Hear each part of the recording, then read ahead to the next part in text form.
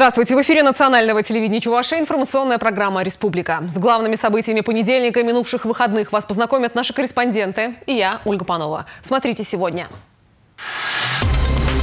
Готовность номер один. 470 школ республики в День знаний примут 127 тысяч учеников.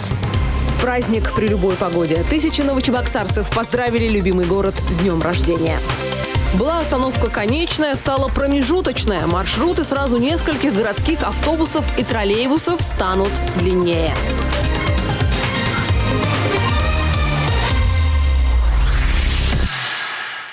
Вопросы развития перерабатывающей промышленности обсудили сегодня временно исполняющий обязанности главы Чувашии Михаил Игнатьев и генеральный директор фабрики «Аконт» Валерий Иванов. Руководитель ведущего предприятия ПК рассказал о своих планах. По предварительной оценке объем производства должен вырасти и составить 8 миллиардов рублей. В свою очередь Михаил Игнатьев отметил, что предприятие составляет весомую долю в структуре экономики и дает значительное отчисление в бюджет Чувашии. Зарубежные санкции, если и повлияли на его работу, то только в положительном смысле. На Конде воспользовались ситуацией и увеличили объемы производства. Что касается спроса на продукцию, то он устойчиво высокий. Сегодня на еженедельном совещании временно исполняющего обязанности главы Чуваши обсудили вопросы готовности учебных заведений к новому учебному году. В 470 школах республики завтра сядут за парты более 127 тысяч учеников. Коснулись и проблем.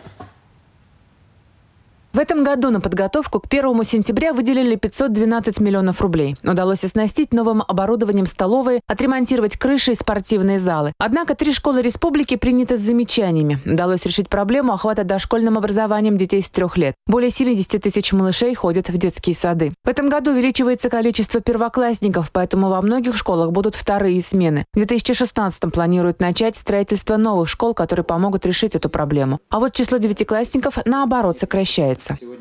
Если в какой-то школе в этом году 10 класс не открывается, это не говорит о том, что в следующем году 10 класс здесь не может появиться. Если дети будут, соответственно, 10 классы тоже будут. Тема среднепрофессионального образования. В этом году августовской конференции мы посвятили в целом э, профессиональному обучению, профориентации наших детей. И сегодня мы видим, что после 9 класса более половины детей идут э, получать среднепрофессиональное образование, а после этого часть детей, 27% примерно, идут после техникума высшее образование. Михаил Игнатьев поинтересовался, когда подрядчик закончит реконструкцию моста через Большой Цивиль. Сроки сдачи постоянно переносились. Сейчас называют дату 5 сентября. К сожалению, были задержки с поставками инертных материалов. А, достаточно долгое время перебазировался подрядчик «Башкир-Автодор». Но я уже сказал, что на сегодняшний день начато устройство асфальтобетонного покрытия. Есть э, задержки с поставкой асфальтобетона со стороны э, поставщика. Управляйте в ручном режиме. Быстрее надо запустить этот мост. Знаешь, жители, которые приезжают, они не да знают, даже, разницы, мост, да, это федеральный, это федеральные полномочия. Еще одна проблема – обрушение входной группы дома на Дементьева-2. Туда в апреле 2015 года были переселены жители ветхих домов. Но летом началось разрушение строения. Минстрой Чувашия провел обследование дома. Выяснилось, что работы велись зимой, а весной и летом из-за оттаивания грунта произошла осадка конструкций. В ходе обследования наличие трещин в конструкции жилого дома самого э, не выявлено. Застройщикам, как я уже сказал, СУОР было взято обязательство по завершению устранения недостатков, которые были обнаружены в срок до 21 августа текущего года. Но в связи с тем, что сами работы, они были достаточно трудоемкими, трудоемкими не были э, завершены в установленный срок. Сегодня нам застройщик СУОР обещает, что до 15 сентября планирует полностью а, завершить эти виды работ. Михаил Игнатьев поручил Кабинету министров взять на контроль сложившуюся проблему с домом на улице Дементьева, чтобы люди, которые переехали из ветхого фонда, жили в нормальных условиях. Татьяна Молокова, Регина Кубайкина, Сергей Рябчиков. Республика. В преддверии 1 сентября успели не только отремонтировать, но и оснастить учебное заведение новейшим оборудованием. Часть его была приобретена на грант главы Чувашии. Аликовская школа имени Ивана Яковлева получила грант в размере 200 тысяч рублей. Новые образовательные технологии, индивидуальные программы обучения, мастерство учителей и старания учащихся. Таков секрет успеха Аликовской школы имени Ивана Яковлева. Владислав Волков работает директором уже 6 лет, хотя педагогический стаж более 20. Еще в 2005 году школа одной из первых внедрила электронные дневники и журналы. Следующим шагом стало создание интерактивных классов. Грант, который мы получили, мы намерены направить на разработку новых образовательных программ, на развитие дистанционных образовательных технологий и на укрепление материальной базы, э, ну, в первую очередь в сфере информационных технологий, на современные компьютеры и информационное оборудование. Школа в селе Аликово одна из старейших, существует с 1898 года. Жители гордятся тем, что в ее открытии участвовал Иван Яковлев, внесший большой вклад в становление и развитие чувашского языка. Здесь учатся 610 детей из 40 ближайших деревень. Ежедневно на занятия детей возят три специальных автобуса. В штате 59 педагогов, и 8 из них имеют высшую категорию. Совсем недавно школа в очередной раз приняла участие в 10-й Всероссийской открытой Олимпиаде юных геологов, которая проходила в Тюмени. Команде «Кристалл» из Чувашии удалось обойти коллег из Калининграда, Казахстана, Таджикистана, Бурятии и Кыргызстана. Помогла ребятам преподаватель географии Людмила Петрякова. Проект «Геология и мы», в который ребята объединили все исследования, удостоился высшей оценки жюри. За многовековую историю стен Аликовской школы имени Ивана Яковлева вышло немало знаменитых выпускников. Это чувашские поэты Илья Тукташ и Никифор Васянко, доктор биологических наук Геннадий Сапожников, журналист, языковед Гурий Комиссаров. Эту традицию обязательно продолжит нынешнее поколение. Учителя школы по-прежнему готовы нести разумное, доброе, вечное. Татьяна Белова, Татьяна Раевская, Андрей Спиридонов, Республика. А в Чебоксарах в преддверии 1 сентября в срочном порядке ремонтируется часть подъездного пути к гимназии номер 4. Напомним, три недели назад из-за строительных работ, ведущихся совсем рядом с учебным заведением, дорожное полотно обвалилось. Это основной путь подъезда к четвертой гимназии. На территории строительной площадки «Два капитана» в начале августа в нижней части котлована размок грунт. Из-за этого дорога и рухнула, объяснили тогда застройщики. Теперь забор, отделяющий стройку от внешнего мира, сдвинули, как сдвинули и саму дорогу. Она будет проходить по территории небольшого сквера. Встревожены жильцы рядом стоящих домов, обеспокоены родители и ученики. Ну, во-первых, это очень неудобно, потому что проезжая часть стала меньше и пешеходная часть тоже. На машине очень опасно заезжать, так же, как и ходить здесь. А на площадке стало опаснее играть. Это минус, по-моему, то, что здесь стройка такая и обвал дороги. Здесь у нас обычно, значит, большой поток э, автомобилей, э, потому что родители привозят своих детей, значит, в школу. Вот. Я не знаю, как вот э, будет происходить вот движение при этой стройке? Мы все возмущены, жители, потому что у нас, как говорится, не подойти, не подъехать. Мы очень боимся, как говорится, за жизнь детей своих. Эта стройка немного, наверное, будет мешать людям подъезжать к школе и привозить своих детей к школе. Вплотную восстановлением полотна занялись последние августовские дни. В администрацию города поступают многочисленные жалобы от жителей данного микрорайона поводу того, что а, была разрушена проезжая часть автомобильной дороги, заезда, проезда к их домам и к школе. Вот, э, и тем более, что это произошло в преддверии 1 сентября. Нами с застройщиком была проведена, проведена определенная работа и достигнута договоренность о том, что силами застройщика будет а, обустроен новый проезд. Э, данные работы в настоящий момент ведутся, вы видите, да, и данные работы будут завершены сегодня. По словам застройщика, ширина дороги останется прежней, и по ней свободно смогут проехать два автомобиля. Кроме того, в будущем, когда старую часть дороги восстановят, дорожное полотно обещают расширить. Алексей Табинов, Олег Якимов, Республика. В городах Чувашии началась продажа сельскохозяйственной продукции «Дары осени». Практика прошлых лет показала, овощные ярмарки пользуются спросом среди горожан. Качественная и экологически чистая продукция поступает на прилавки без посредников, а следовательно и без дополнительных наценок. У горожан появляется возможность запастись всеми необходимыми сельхозпродуктами на зиму, а у сельхозпроизводителей найти покупателей и реализовать излишки. Картофель идет у нас на ура, продается он очень быстро, где-то машину в день продаем. У нас уже торговля идет лет 5-4 года у нас постоянные клиенты, покупатели. Народ доволен, не жалуется. Не у всех есть возможность довести в город большое количество продуктов своими силами. В помощь производителям организована работа машин доставки. Кроме того, на рынках им выделены места для продажи совершенно бесплатно. Вон и рынок хороший, вон помогает нам. Место он уступает, все, рынок хорошо построили. А то куда идти? Торговать-то Чебоксар далеко. Вот сюда идем. Килограмм картофеля на ярмарке стоит от 10 до 12 рублей, моркови от 15 до 20, свеклы от 10 рублей и репчатого лука 17 рублей. Совсем скоро на ярмарке выходного дня поступит урожай свежей капусты. Анастасия Алексеева, Дмитрий Ковалев, Александр Петров, Сергей Рябчиков. Республика. Временно исполняющий обязанности главы Чувашской республики Михаил Игнатьев в субботу провел в Чебоксарском районе. Посмотрел, как идет заготовка зерна, поздравил жителей деревни Индимиркасы с открытием фельдшерско-акушерского пункта и принял участие в торжественном открытии Яношской школы. Уборка урожая в самом разгаре. Шум комбайнов слышен даже ночью. В этом году посевная площадь в ОАО «Приволжская» составила почти две с половиной тысячи гектаров. Хозяйство с каждым годом вводит в оборот дополнительные пустующие земли. Теперь основная задача – убрать оставшийся урожай. Хотя посевные работы озимых культур тоже набирают обороты. Как отметил Михаил Игнатьев, сельское хозяйство в республике развивается динамично. И это идет на пользу как потребителям, так и предпринимателям. Риски берут крестьянско-фермерские хозяйства, руководители хозяйств разных организационно-правовых форм, но результаты хорошие практически. Они думают не только, как бы убрать там концы с концами свести, они уже считают миллионные прибыли. Программа по строительству фельдшерско-акушерских пунктов в Чувашии длится уже три года. Сегодня в деревне Индимир-Косы местные жители пришли посмотреть на современный медицинский модуль. Мы очень рады, что нам построили такой новый, светлый, яркий, оснащенный фельдшерский пункт. До этого мы принимали больных в старом ветхом здании. Здесь, по сравнению с тем, что было, это небо и земля. Нам тут будет работать очень приятно, очень уютно. Оборудованные комнаты для детей, для э, осмотра женщин, процедурные кабинеты.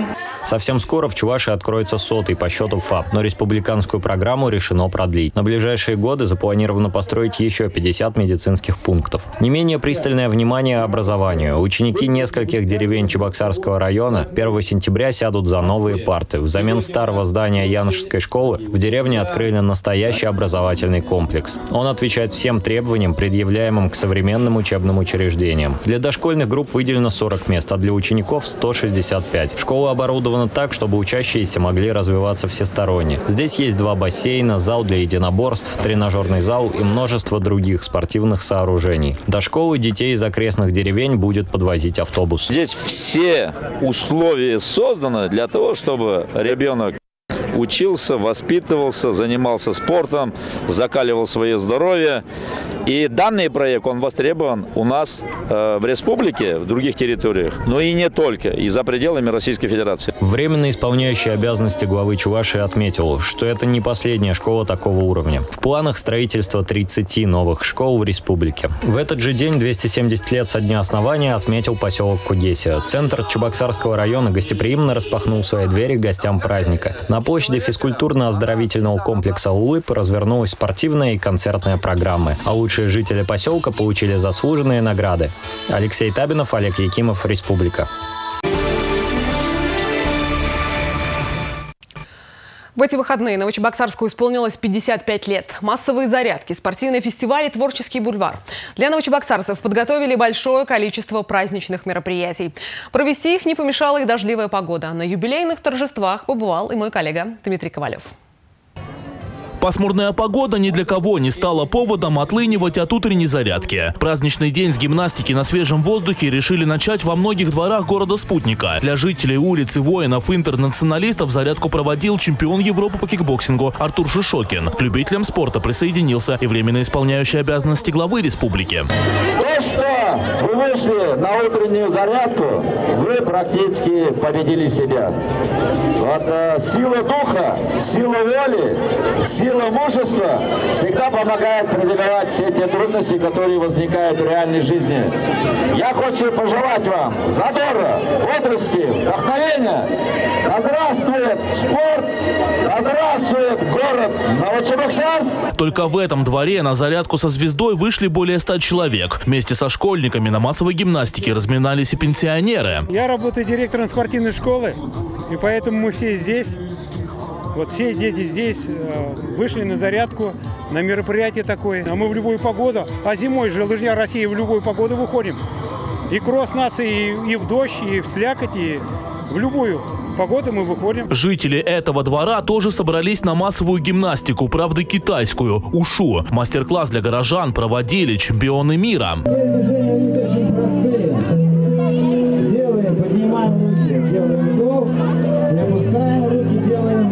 На главной площади города своими силами мерились атлеты из более чем 10 регионов страны. Новочебоксарск уже не первый год принимает у себя престижные соревнования по кроссфиту. Чтобы одержать победу, их участникам было необходимо больше всех поднять штангу и не менее 30 раз запрыгнуть вот на такую высоту. Свои силы решили проверить и руководители города-спутника. И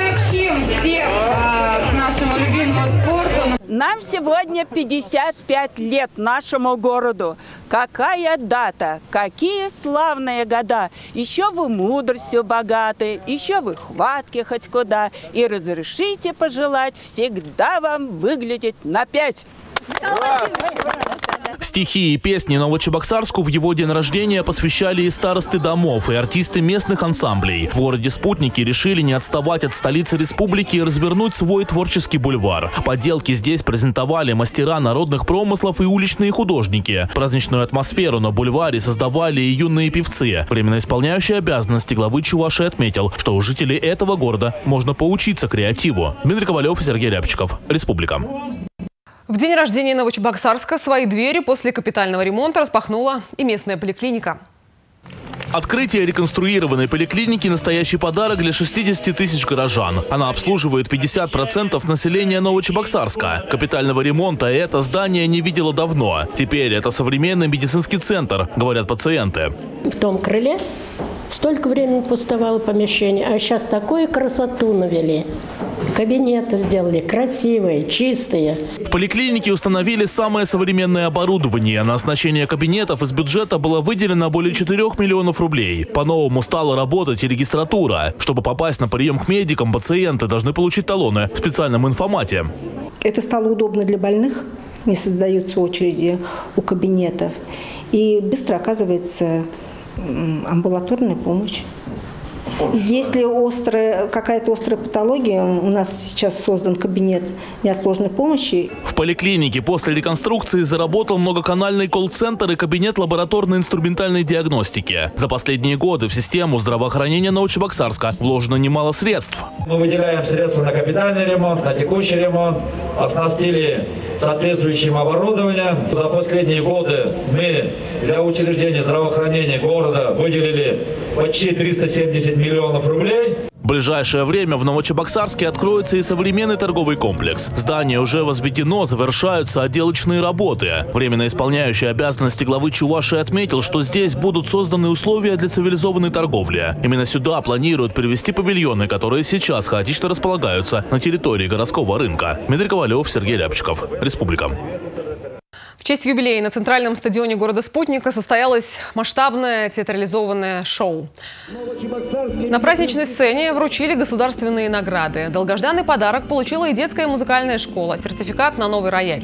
У городских властей амбициозные планы. Временно исполняющий обязанности главы Чувашии Михаил Игнатьев отметил, что за последние годы в Новочебоксарске было открыто несколько крупных производств, создано сотни рабочих мест. А в ближайшее время здесь заработает полигон твердых бытовых отходов. В городе отремонтировали 100 дворовых территорий, реконструирован ряд дорог. Что сегодня у нас начало строительство. Это достаточно большое э, количество квадратных метров, которые мы должны построить, как в этом году, так и в следующем. Это очень важно. Когда сегодня э, строители работают, значит работают и все. И я думаю, что у нас много появится рабочих мест, и наши молодые люди никуда не будут уезжать. 13 сентября – день выборов главы Чувашской республики и депутатов органов местного самоуправления. 2 сентября начнется предварительное голосование. На прошлой неделе были напечатаны бюллетени, сейчас они переданы в территориальные избирательные комиссии. Сегодня будут готовы плакаты с информацией о кандидатах. Данный информационный плакат должен быть размещен на всех, во всех помещениях для голосования 13 э, сентября. Поэтому тираж небольшой. У нас 1184 избирательных комиссий участковых. Ну, соответственно, тираж плаката 1300 экземпляров. Это необходимый реквизит для оборудования помещений для голосования. Информация о кандидатах. Теперь добираться до работы и обратно домой в столице Чувашии станет легче. В городской администрации приняли решение об оптимизации маршрутов автобусов и троллейбусов. До микрорайона Садовый с разных концов города теперь курсируют маршруты автобусов номер 2 и 12. Второй автобус начинает свой путь с поселка Альгешева, а 12 с поселка Энергетиков. Сообщение между Финской долиной и Новым городом налажено через маршрут номер 26. А первый автобус соединяет новоюжные и северо-западные районы через три моста – Гагаринский, Сургутский и Октябрьский. Маршрут номер 8 закрыт. Данные изменения непосредственно были связаны э, на основании обращений горожан, которые проживают в э, микрорайонах новых, заселяются в новые микрорайоны. Э, поэтому я думаю, что данные изменения, они положительно скажутся э, на, как на маршрутной сети, так и на транспортном передвижении жителей города.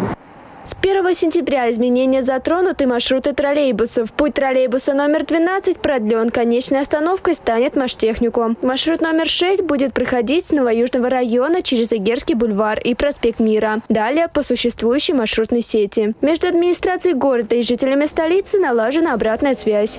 В настоящее время на базе Центра пассажирского транспорта МБУ Чебоксара Телеком начала функционировать горячая линия, э, куда э, горожане уже сегодня могут э, по телефону 23 51 99 позвонить и высказать свои предложения, замечания, жалобы, касающиеся вопросов организации транспортного обслуживания населения города. В ближайшее время решится вопрос о частичном изменении маршрута номер 65. Автобус будет проходить от микрорайона Садовый до торгового комплекса Николаевский. Екатерина Куприна, Расиль Мухаметов, Республика.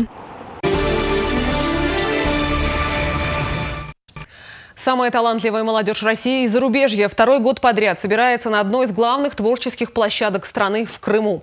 Все лето во Всероссийском молодежном форуме «Таврида» работают творческие смены. Участниками одной из них стали ребята из Чувашии. Юлия Шелтукова успешно защитила там проект и получила грант на его реализацию. На побережье Крыма с июля до середины сентября в семи тематических сменах активно работают и отдыхают участники военно-патриотических клубов, архитекторы, урбанисты и дизайнеры, актеры, композиторы и музыканты. Студентка юридического факультета ЧГУ Юлия Шелтукова выступила в смене писателей, поэтов и критиков с проектом «Я читатель». Форум очень интересный. Он включает в себя очень много интересных площадок, где ты можешь познакомиться не только с выдающими личностями, да, уже э, в рамках э, неопределенных регионов, да, со всей России. Мы познакомились вот э, с Вяземским, да, познакомились с праправнуком Льва Николаевича Толстого. А мне также удалось э, с ними немножко обсудить свой проект. Проект Юлии – интеллектуальная квест-игра для молодежи от 15 до 18 18 лет. Всю работу девушка организует совместно с большой командой волонтеров и библиотекарей при поддержке Министерства образования, а также администрации города. Все желающие старшеклассники должны пройти отборочный этап в своих школах. Самые лучшие попадут на квест-игры. Нам очень приятно, что в год литературы не только библиотекари, но и э, студенты стараются повысить интерес общественности к проблеме чтения. Яркий пример тому э, интеллектуальная квест-игра «Я читатель», который предложила провести э, молодая, активная, предприимчивая студентка. В рамках проекта «Я читатель» на станциях в городских библиотеках пройдут встречи с писателями и ветеранами войны, конкурс чтецов и буктрейлеров, урок словесности и дебаты. Подробнее с программой проведения игр можно будет ознакомиться на странице создаваемой группы ВКонтакте. Анастасия Лангина, Игорь Зверев, Республика. Развивающаяся в Чебоксарах велоинфраструктура дает толчок новым развлечениям. Популярными становятся велоквесты. В рамках своего 11-летия в Чувашии компания «Мегафон» организовала приключенческую игру «Тропа мегагероев». В арсенале участников лишь велосипеды, гаджеты с выходом в интернет и собственная смекалка. К чему это может привести, смотрите в следующем сюжете. А я с вами прощаюсь и до встречи в эфире национального телевидения Чувашии.